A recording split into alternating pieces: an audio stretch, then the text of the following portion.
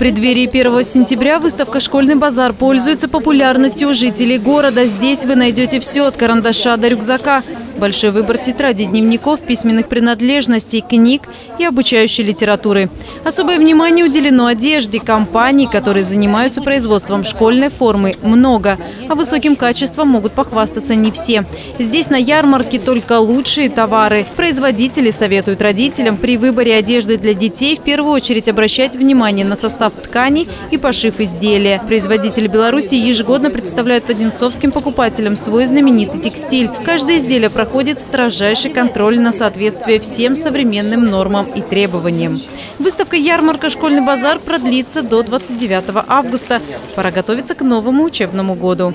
Мария Шматкова, Артем Ломоносов, телекомпания «Одинцова».